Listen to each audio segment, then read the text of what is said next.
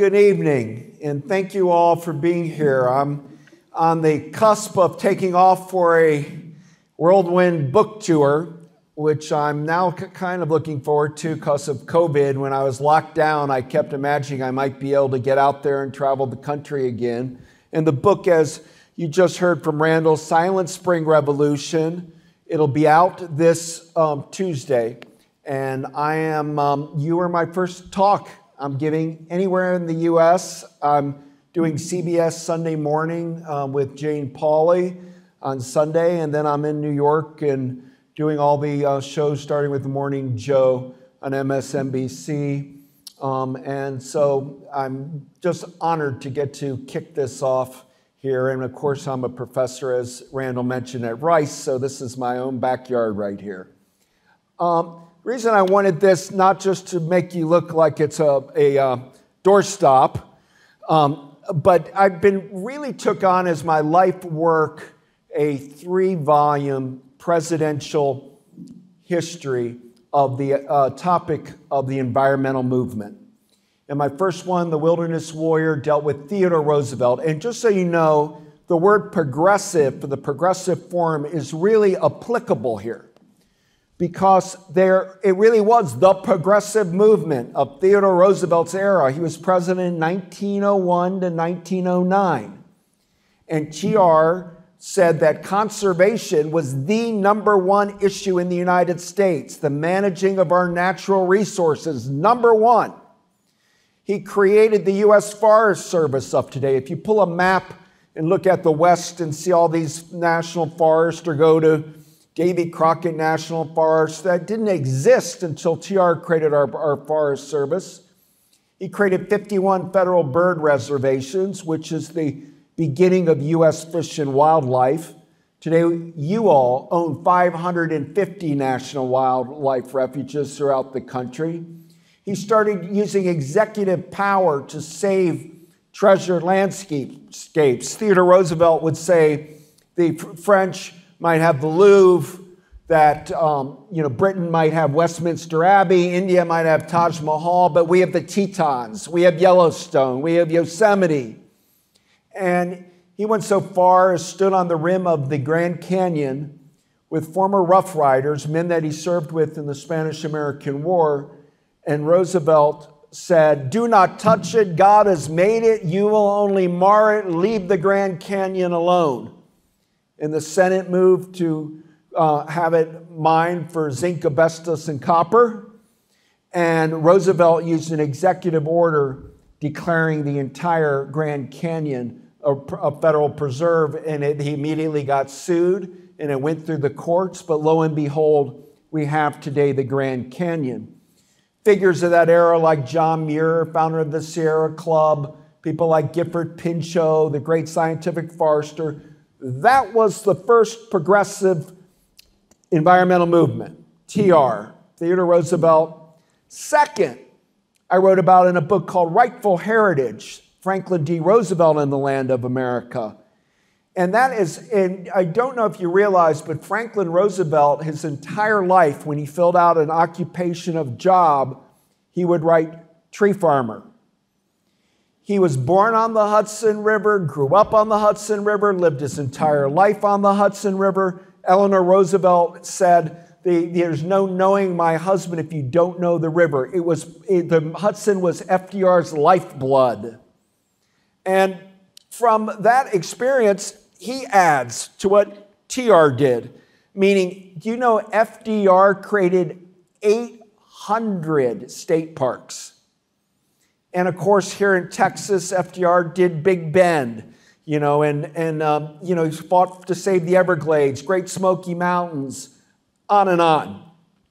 But he also paid a dollar a day um, unemployed people to work for the Civilian Conservation Corps. And the, during FDR's New Deal, they planted nearly 3 billion trees and an America that had been, been destroyed by um, agriculture runoff, waste products, um, Dust Bowl, our whole country. We talk about the Great Depressions, not just the stock market crashed. Our whole country had been abused, and FDR's New Deal created a second environmental movement, if you like. My new book's The Third Wave, and it's from 1960 to 1973. 1960, the year John F. Kennedy ran for president and won, and the year Wallace Stegner, a Pulitzer Prize winning novelist, wrote his Wilderness Letter the year that a famous photographer, Ansel Adams, did a book, This is the American Earth, with Nancy Newhall. And it ends in 1973 when Richard Nixon, on December 28th, brings the Endangered Species Act into existence. And a bipartisan vote in the US Senate, 92 to nothing. Um, so, what is this third wave and how does it come about? And we're not at the fourth wave. I know we all want to believe with climate we are. We've come near when Gore was, was did Inconvenient Truth, where you know people like Bill McKibben, who has been part of this lecture series, has been pushing for it. We're always right there and don't really pull it pull it off. Um, I had to begin my book uh, in 1945, Hiroshima, Nagasaki game changing event, world history, birth of the atomic age. During World War II, anything we could do to win the war counted. And in the United States, we started mass producing all sorts of chemicals, all sorts of war materials.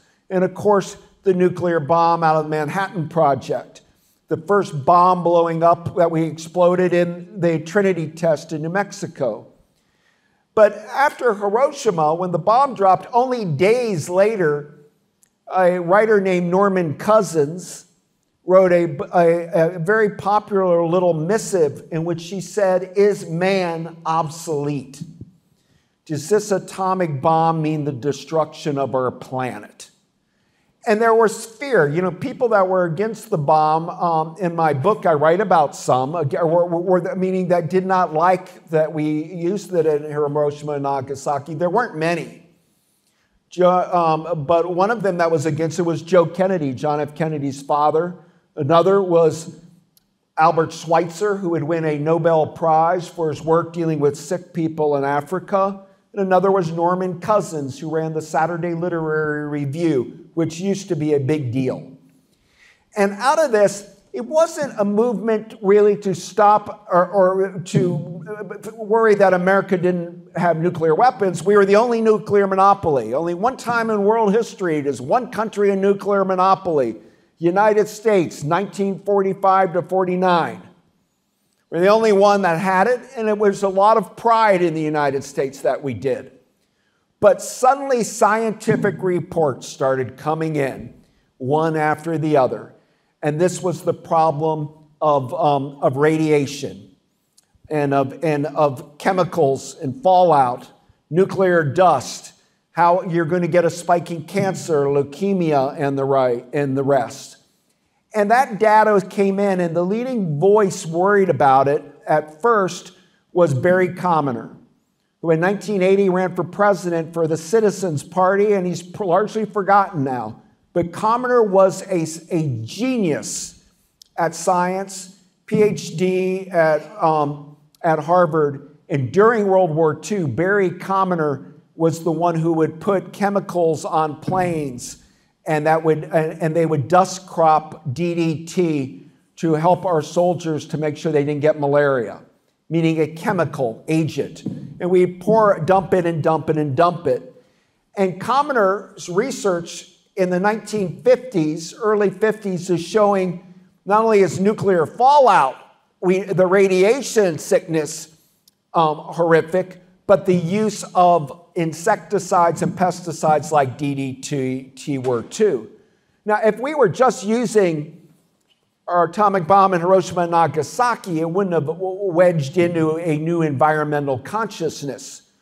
But alas, we started blowing up nuclear bombs willy nilly in Nevada, one after the other, bomb after bomb after bomb. And the people that got sick from it weren't just in Nevada and Utah it blew all across the land. We started seeing high levels of radiation and, um, um, and um, strontium 90 in people as far as New York.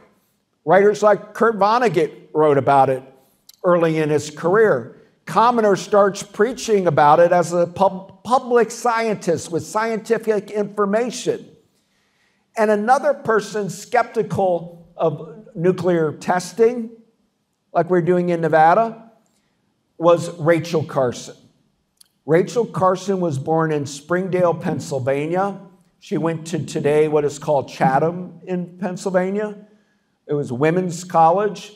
She, at an early age, never saw the ocean, but she dreamed of it.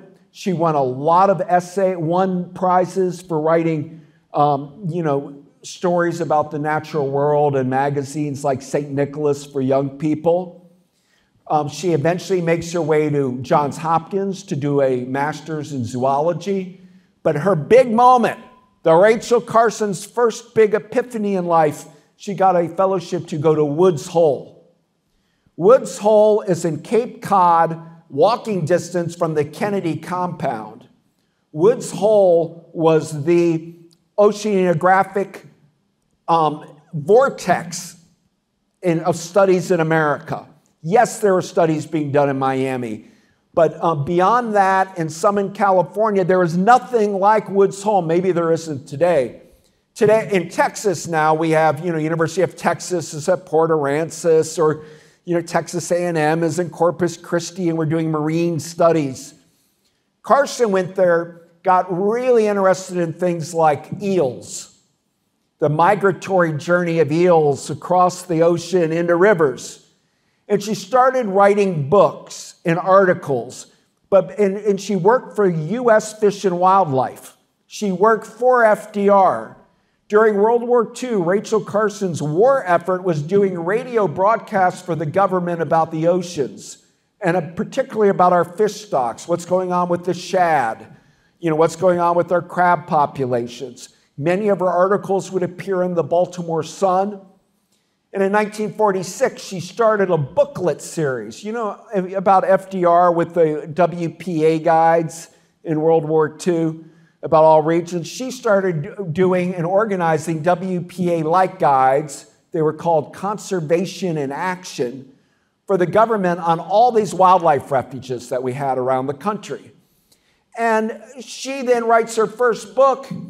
And, in, um, and, and, and to cut to the chase, by the late 40s to the, through the 50s, she wrote three books about our oceans that were mega bestsellers not kind of, not like on the list a couple of weeks, and disappears. Week after week, everybody believed that, that nobody had ever written about oceans with the poetic beauty, scientific exactness of Rachel Carson. Um, she was a phenom. Any of you that have any interest in ocean life would have encountered her. The only competition was Anne Lindbergh um, Morrow down in Sanibel Island, Florida, who wrote a best selling book, but that was like, um, you know, a, a lower uh, quality product. Rachel Carson was nailing these incredible um, uh, ocean books. And you know who was a big, big fan of hers? Rose Kennedy, John F. Kennedy's mother. John F. Kennedy's mom was raised in Concord, Massachusetts, with Walden Pond as her backyard. And you all know Walden Pond is Henry, is Henry David Thoreau's um, famous place. In fact, I ask students sometimes and people, what's your Walden Pond? What's your Walden Pond? Meaning, what place in the spiritual, natural world most speaks to you? It might be your grandmother's house, backyard, it might be a state park, it might be a river. But I ask you as an audience, what's your Walden? Well, Rose Kennedy's Walden was Walden. And when she moved and got married and in Boston and then went to, um, she ended up, you know, famously in Hyannisport, all of the Kennedy kids with Rose learned to swim, not in the ocean, but in Walden Pond. Rose Kennedy was such a Thoreauvian that she made a special secret mission working with CIA to check all over Russia to see if Thoreau's books were being carried in libraries.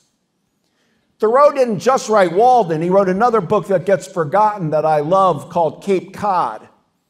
And Thoreau also wrote The Maine Woods. And Thoreau also wrote an essay called Walking, which Rose Kennedy had memorized practically, and Ted Kennedy had parts of it memorized late in his life. He had still had recall of it. And the big line in Henry David Thoreau's Walking essay was In wildness is the preservation of the world. In wildness is the preservation of the world. And Thoreau said every community needs what we might call today green belts, township parks. We've got to stay connected to the natural world and not be so arrogant that we're going to conquer nature, but we're going to live in harmony with it. And by the time in the 1950s, when Rachel Carson's books were that big and Rose Kennedy found them, that there was no bigger Thoreauvian than Rachel Carson. She died in Silver Spring, Maryland in 1964 with Walden at her bedside. She'd had Thoreau posted on her desk. Thoreau in the 19, um, in the 1950s became the inspiration for a wilderness movement in the United States. And the wilderness movement came to maturity and Dinosaur National Monument in Colorado, Utah, when they were the Bureau of Reclamation, which is part of Interior Department, was going to build a dam, but the dam would have ruined part of Dinosaur National Monument. And the protest to it was you're not it'll there in the national park bylaws you're not allowed to destroy or mar a national park which monuments are part of that system, a unit. And a king daddy fight occurred in the mid 1950s. Bernard DeVoto, the lead, he died of a heart attack, but was a uh, writing for Harper's Magazine. David Brower, who was running the Sierra Club. Um, Howard Zahniser, who was running the Wilderness Society. They got aggressive in the mid 50s to stop the dam, and they won. And that victory inspired a, that whole wilderness movement. Now you also had an anti nuclear movement being born. Norman Cousins, who I mentioned, creates SANE, S A N E, stopping of nuclear testing and underwater and, or um, in the atmosphere. So you have the anti nuclear commoner Cousins crowd coming. You're having the wilderness lobby of modern day Thoreauvians coming to the fruition. And you have Rachel Carson doing wildlife refuges, but with the interest of oceans, and they all morph together. John F. Kennedy, who was a playboy senator, not a workhorse, due to William O. Douglas, Supreme Court Justice, Kennedy family friend, got Jack involved with National Seashore Protection. And John F. Kennedy makes a huge mark for himself in the Senate in the late 50s, promoting Cape Cod National Seashore. What's important about saving Cape Cod, which Kennedy accomplishes first year in president in 1961, is that it's not a national park like Yellowstone. Cape Cod is a national park where the communities of Wellfleet and Truro, Provincetown are interacting with the park. And that becomes another big motion. How do we create saving park zones where people can live within boundaries or around it in new and innovative ways? Carson, at this point, after writing her Sea trilogy, started getting dumps of documents. She had worked, as I mentioned, in U.S. Fish and Wildlife. All of these government scientists started saying, Rachel, Look at what DDT is doing to the fish in our test. Look what it's doing to birds. Look what it'll do to human health. And she took all of this raw data in a whistleblower like fashion and started crafting it into the book that is Silent Spring. In Silent Spring, she works on in the late 50s while she has breast cancer, while she's very sick while she's going through radiation treatment. She's wearing, having to wear a wig for losing all of her, her hair. And she starts writing this manifesto. No book in American history has had the wallop and the impact of Silent Spring. Uh, the New York Times just asked me that, and I had to make a list of ones that had that kind of impact. Something like Thomas Paine's Common Sense in the American Revolution, maybe Zebulon Pike's Wilderness Exploration Diaries when they were entered into the congressional record. Certainly, The Jungle by Upton Sinclair uh, for meatpacking industries. But Carson's book that she was working on um, finally got launched in, um, in the early 1962 with um, excerpts published in The New Yorker. What Rachel Carson had going for her beyond these movements coming together was the man I mentioned, Justice William O. Douglas. Douglas was from Yakima, Washington, could barely walk because of polio as a boy, became the hero, legal, brilliant mind of Columbia Law School, went on to be the Sterling professor at Yale Law School, and Douglas goes on to being the longest serving Supreme Court justice in U.S. history.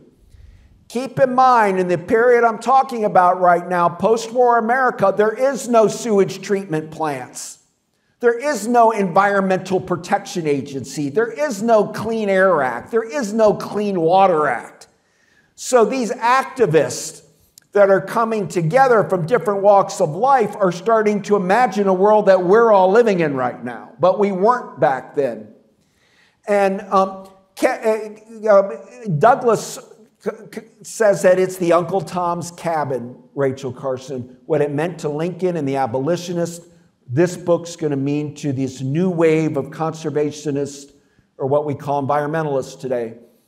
And the New Yorker excerpts called, and it caused an explosion because the chemical manufacturers were now had their, they were being backed up with real science and they called her a spinster, hysterical, lesbian. Any name you can think was thrown at Rachel Carson to try to smear her uh, because she had no children, although she took care of her nephew. Um, and they were it, it just vicious stuff. And yet, while she's being hammered and she's standing up with the New Yorker for her research, John F. Kennedy at the podium, at a question, says, I'm going to look into this pesticides due to, um, due to um, the book by Miss Car, or the, the research found by Miss Carson. And Kennedy orders a presidential science advisory committee to look into her findings. He picked the right scientists, the best scientists. Just like in climate change today, we have climate experts, and they said Carson was right. DDT will poison people. And it wasn't just DDT. It was all of formaldehyde misforming babies and all of these hocus pocus chemical, you know, Aladdin's lamp, presto, all these uh, things that were, weren't vetted due to the hurry up mentality of World War II were now causing a problem. Carson's book comes out in the fall of 62, and life's never the chain, uh, is never the same in America because Carson is telling every one of you, it, up until Rachel Carson, conservation was what Theodore Roosevelt was doing. Let's save a national forest, or let's save a monument, Devil's Tower in Wyoming, or let's save Mammoth Cave in Kentucky. Kind of heirloom stuff. Rachel Carson is saying, Your son and daughter are getting sick playing in your backyard. The problem with DDT was it was being aerial sprayed. And the big legal case in the late 1950s was led by Marjorie Spock. And Marjorie Spock was an organic farmer on Long Island who sued all the way to the Supreme Court. And Marjorie Spock, whose brother was Dr. Benjamin Spock, the famous baby doctor, but Marjorie Spock said, I have a right to grow organic produce. How come a Suffolk County or Long Island or New York or US Department of Agriculture can spray chemicals over my organic acreage? She said, I have a right to be an organic farmer. Who owns that airspace? Lawyers in the audience will know, you know, what a conundrum an issue like that is. Who's owning the airspace above? Are you know? And she lost in the Supreme Court. But William O. Douglas wrote an extraordinary dissent, uh, and, and which is also with Silent Spring the opening bell of the environmental movement.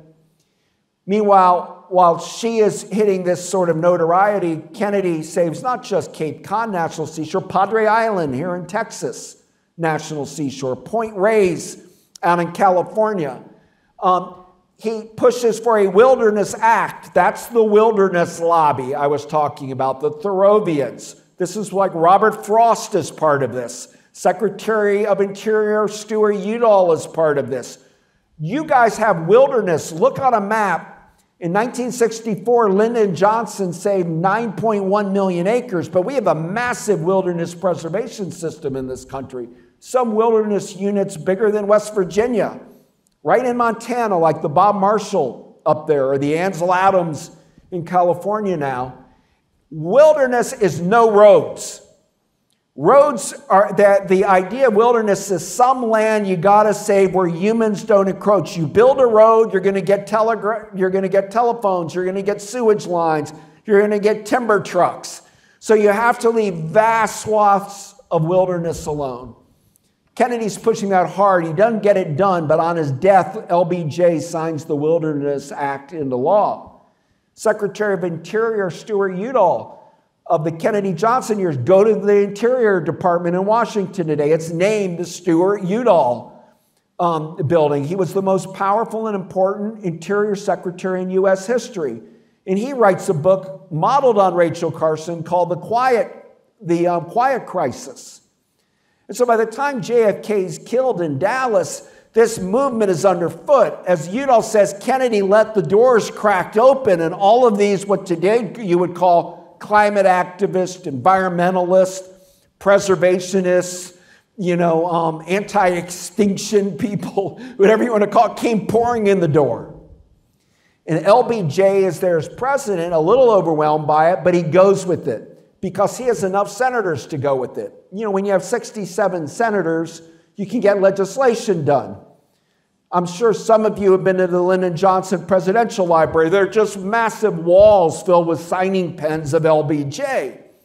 And all of these groups, like the Sierra Club or Audubon societies, all have these measures coming, LBJ signing them away. And you know who's cheerleading him on? Lady Bird Johnson who's synonymous with conservation, beautification, no billboards, um, parks. And when Rachel Carson dies of her cancer, Kennedy's dead in, in, in November 63, Carson's gone in April of 64. The wave effect, Lady Bird become, starts becoming the voice of the national parks. She goes rafting down the Rio Grande here in Big Bend. She stands in the redwood groves and says, We're going to save them. And she becomes more popular than Lyndon on promoting this. I would say, outside of Eleanor Roosevelt, if I had to rank first ladies, LB, uh, Lady Bird's very high, which she did for conservation in her era. And meanwhile, Lyndon Johnson's created things one after the other, places that maybe you haven't gotten to see, but North Cascades National Park in Washington State, Redwoods National Park in California, Canyonlands in Utah. Kennedy and Johnson create a whole new category called lakeshore, national lakeshores, and save places like the Indiana Dunes in Indiana outside of Chicago, Sleeping Bear Dunes in Michigan, Picture Island in Michigan, the Apostle Islands in Wisconsin. I could go on and on, saying the Great Lakes need to be preserved. They're also starting to look at environmental quality. And I don't know if any of you know the name William Ruckelshaus, but he's most remembered for Watergate uh, as standing up to Nixon. But Ruckelshaus was from Indiana and an incredible environmentalist who died a few years ago, first head of the EPA. And Ruckelshaus told me the problem with guys like me writing books like this is we all love to do parks. And he said the big story of the 60s is sewage treatment. And nobody wants to be the sewage scholar. You know, writing about landfill scholars. They do now. It's a hot field and environmental university press books coming out, but for a long time, people didn't go, I'm going to do my PhD in Yale and study this history of sewage. Um, but our country didn't have sewage treatment. We were dumping raw everything into our waterways. In a way, I mean, we talk about the Dust Bowl of the 30s, you're talking about America in the 60s. 1969, the Cuyahoga River catches fire in Ohio, cover of Time magazine. They just happened to choose the Cuyahoga. I mean, the, the, the Rouge River in Detroit had been on fire before that. That's how polluted and dirty these rivers are, that they could become a wall of fire going across them. Um, and so the, uh, in LBJ, tied to Vietnam War, passes the first Endangered Species Act in 1966. In the back of my book, I have the list of the first animals. They were looking for charismatic species to save. They chose the key deer, a little deer in Florida. It never quite took off. But by the second Endangered Species Act that Nixon signs, it's really about the bald eagle because the bald eagle was almost going extinct. It was vanishing like the dodo bird due to DDT, due to the thinning of eggshells and the poisoning of the fish streams. And so um, Lyndon Johnson, on his way out in 68, that tumultuous year, you know, he creates things like the Wild and Scenic or, or National Scenic Trail System, saving the Appalachian Trail and the Pacific uh, Crest Trail. Um, you know, just there's one achievement after the other with LBJ and Ladybird. Now, you come in and say, Look, I write in 68 about a writer, Edward Abbey's book, Desert Solitaire, or the Whole Earth Catalog, and Stewart Brand, and a, a, a renewed consciousness of, of indigenous people, culture, and the land. Beat generation writers, Allen Ginsberg and Gary Snyder, talking about ecology. Um, but it's really kicking in. Two battles I write about in the book I won't go in detail, just tell you one's the Hudson River campaign to save Storm King from Con Edison, another is to stop a, a power plant, nuclear power plant in Bodega Bay, California. The environmentalists win both. The motto that's developed in 1967 by the environmental movement is sue the bastards. Um, that's begun by the Environmental Defense Fund, but today it's the National Resource Defense Council, Sierra Club Defense Fund. Meaning, in a society like this, you're only, if you have those kinds of uh, lawsuits, are you going to be able to affect legislative change. I'm not saying I agree with that, but I'm telling you that was a big, big movement. Others said, well, do it in legislature.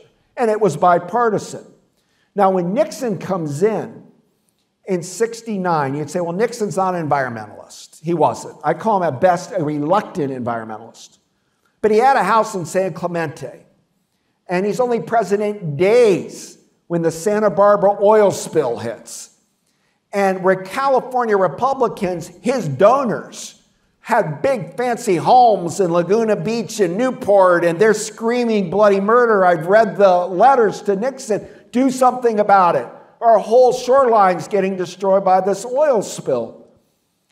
So he, constituent politics, puts an ear to it and deals with it. Then the Cuyahoga that summer, and Gaylord Nelson, senator for Wisconsin, is really hatching the idea of the first Earth Day. But do you know who's funding Earth Day? Who funds it? The big one, 1970 Earth Day. Walter Reuther, head of the labor leader of the United Auto Workers.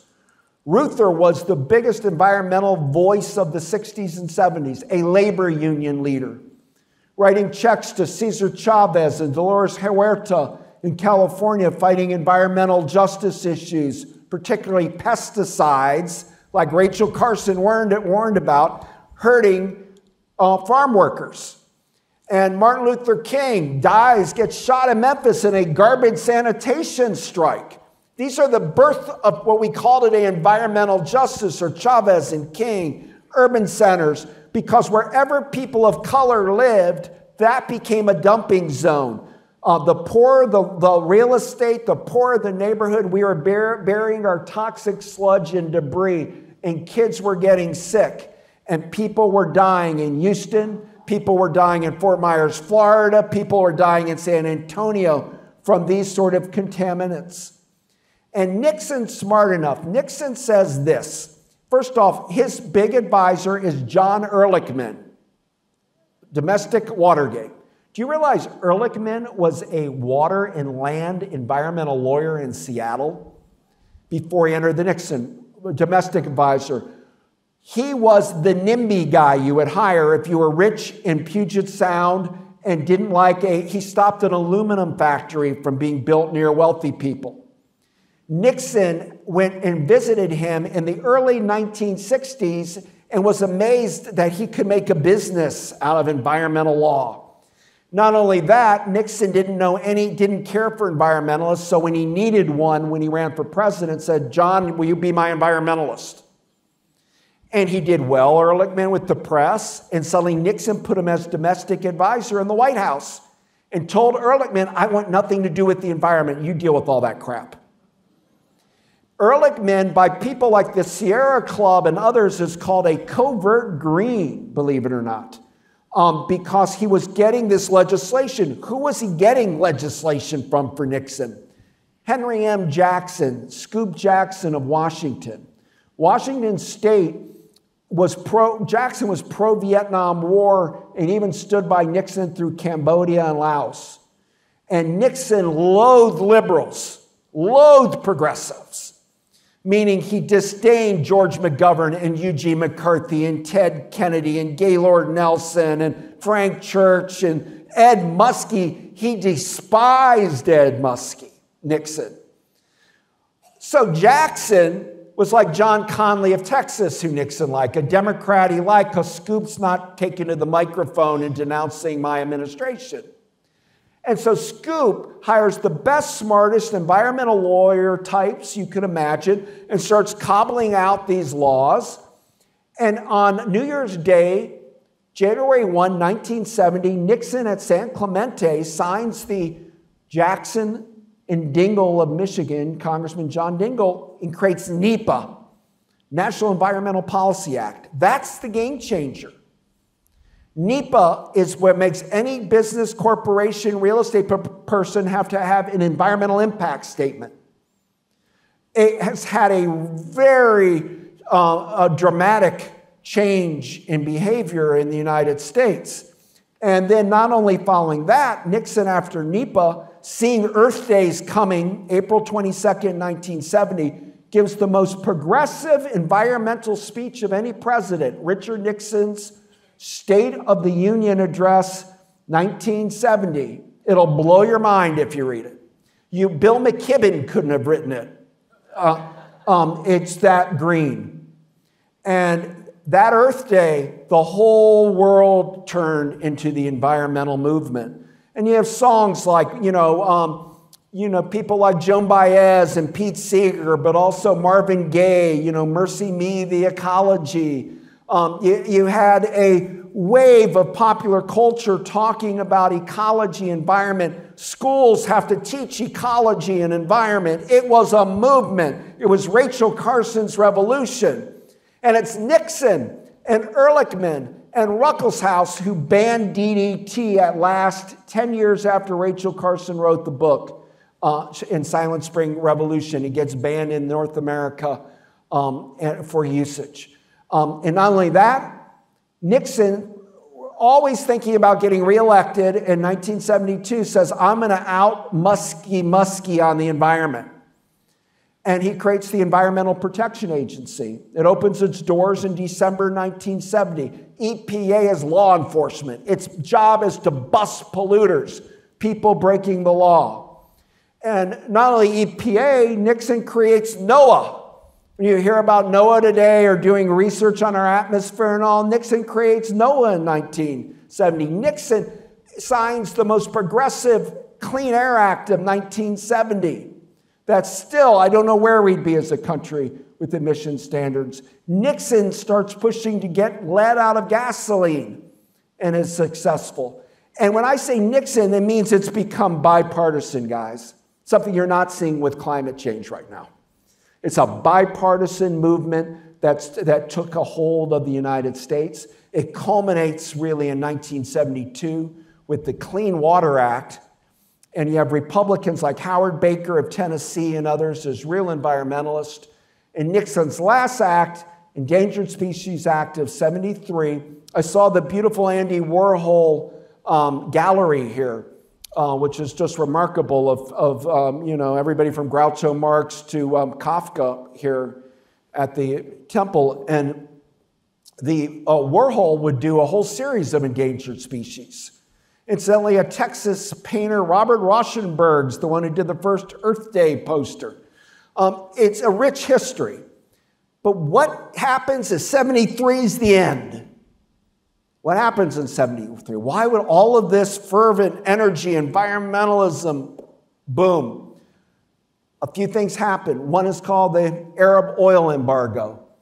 People got angry of high gasoline and inflation, and they boycotted the Arab countries to the United States. Um, what made Nixon got turned on by conservatives in his own party for being too green, too in bed with the left. There was also suddenly people realized NEPA and EPA what it really meant if you were in the extraction business or the chemical business. It meant federal regulation, federal regulation, federal regulation. Um, but something else happened. In 1972, a man named Lewis Powell became Supreme Court Justice, a Republican. In 1971, Powell writes a famous memo to the Chambers of Commerce telling them we've got to stop Rachel Carsonism, meaning we've got to stop the federal regulations or capitalism will die. And they create the Business Roundtable. It's the beginning of corporations opening offices in Washington, D.C. to do lobbying. It's the beginning of the Heritage Foundation, the American Enterprise Institute, Cato, pick your, your conservative action group and you'll see that they're being born out of the Powell memo as a rejection of environmentalism. Because things like race and gender can be debated, but environmentalism was busting companies at their bottom line. William O. Douglas was arguing in the Supreme Court that trees and rocks have standing in court. This one was going far. And they, you naturally had the conservative counterswing. And Powell says it'll take decades, but we've got to shut down the universities from public speaking forums. We're going to have to create our own media, which is the Fox News phenomenon of today. We're going to have to create our own think tanks and conservative speaking bureaus. The left Ralph Nader and these types have had such a run that it may take us 10, 15, 20 years, but we will win if we stand firm and unite around business principles and say no to these EPA hyper regulated, meaning, and this is instantly where the Coors people and the Koch brothers come from. All of this is a rejection against the Rachel Carson revolution in the 60s. I end my book with all of these characters I carry throughout are gone. Lady Bird's long gone, Lyndon gone, Nixon gone, only like Ralph Nader's around. Um, and you know, that, that whole generation is past. But we've been living on that revolution in the environmental world now. And the question is three progressive eras, are we on the cusp of a fourth, a climate change revolution? And you're starting to see it take hold in the universities. It's young people right now that are putting climate on the top of the political agenda. Thank you.